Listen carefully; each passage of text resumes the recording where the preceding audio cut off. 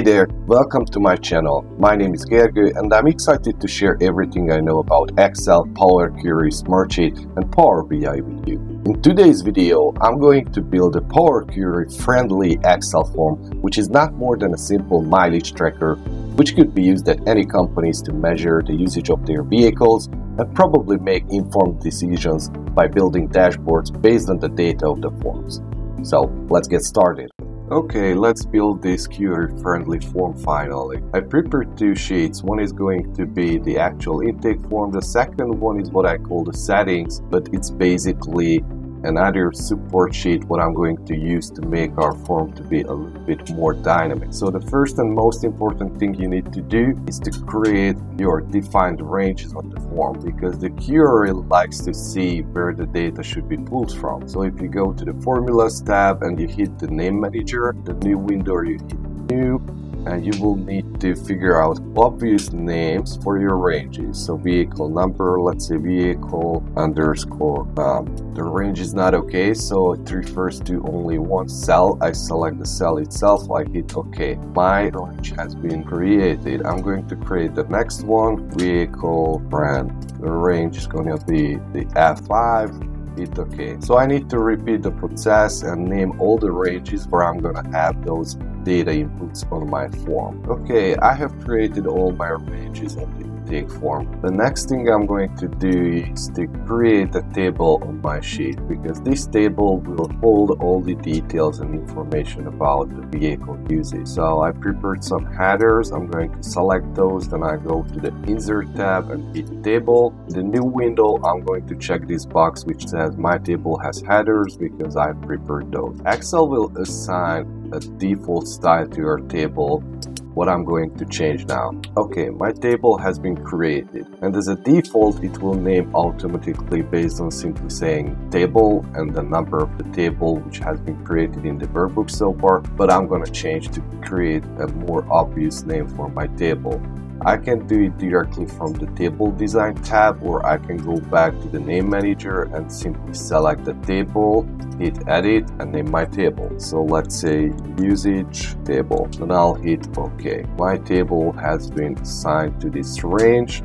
I go to the settings sheet and I'm going to do the same for these attributes. Insert tab, table. My table has headers. Let's change the style just by like this gray. Once it's done, I can go to the formulas tab, name manager, find my table, table 4, hit edit, let's say vehicle detail. I close the window and I go back to my intake form. Okay, the next thing I'm going to use is the data validation under the data tab.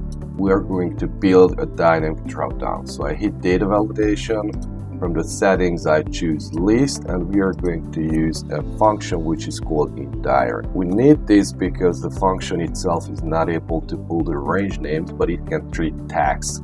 So it can return a value based on a text string.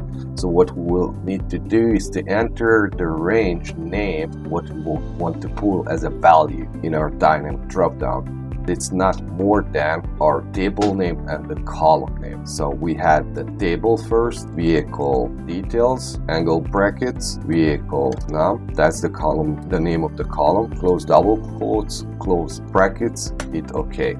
My dropdown is created. So basically the indirect formula pulls the vehicle number column from the settings sheet. Since it's dynamic, if I add a new vehicle to my table, then it's going to be automatically displayed on my dropdown. Okay, let's make our form to be a little bit more dynamic. Let's say I want to pull all the vehicle details and it's very simple. I'm going to use a very popular formula called the VLOOKUP or XLOOKUP. But this time I'm going to use the XLOOKUP which you can find in the O365 version. So X lookup, lookup value is going to be my value of the dropdown which is the vehicle number. Then I go back to my settings sheet. The lookup array is going to be the column B where I have the vehicle numbers. The next one, what we want to get back. The first attribute is the vehicle brand. So I'm going to select the column C and I simply just close the brackets. I hit enter and I repeat the process for all the attributes. I'll copy and I'll paste only the formula into the cells. The only thing I need to change is the column names in the form formula. So the model is going to be the column D, F, and the G.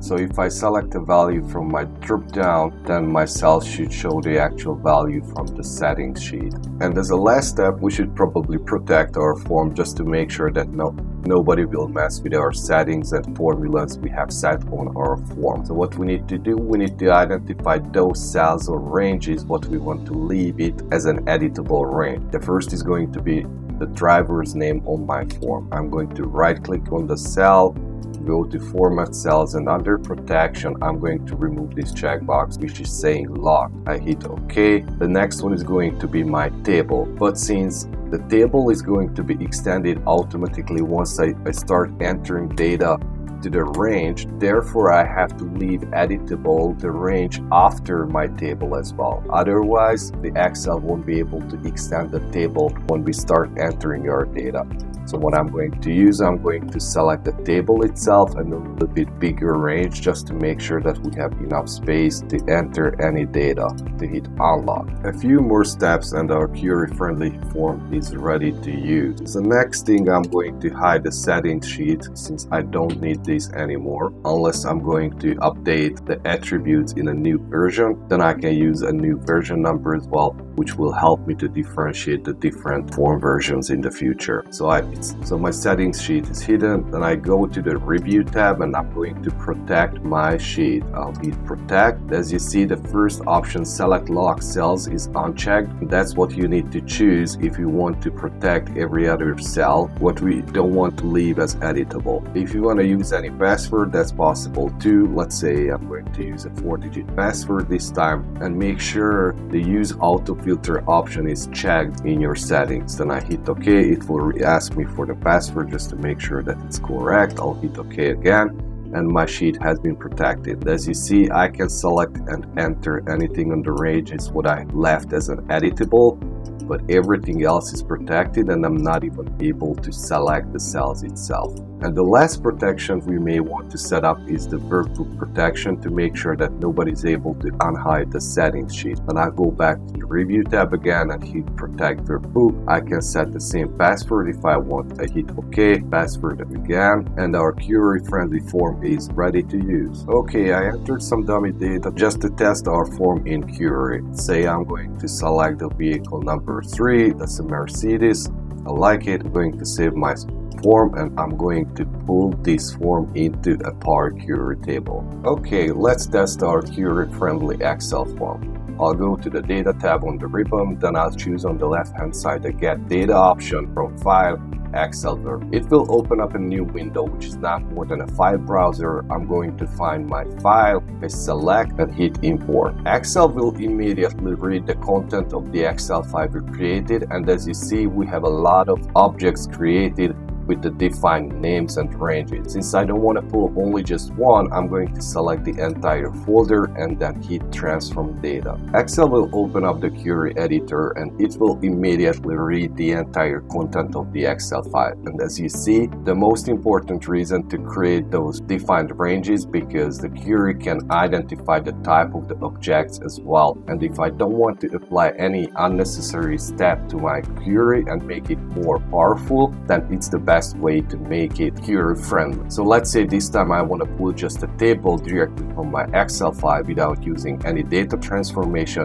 then I select the table type and from there I'm going to select the actual table I want to use from the item column. Let's say this is going to be the usage table. I'll hit OK and under the data column you will see this double arrow which will expand the content of the Excel file. I'm going to click on the double arrow, remove the original prefix and let's see the columns we have. Here we go. I have all the data pulled directly to a query table from my Excel table without using any additional data transformation. The next step you may want to do is to set the correct format of each column, each data. So what you need to do is to select the column go to the Home tab and under the data type, you choose the, the type of format, which is the correct one. The name is the text, that's fine. The other option, if you select the column itself and, and you select the format sign at the column header, you click on there and you select the correct format.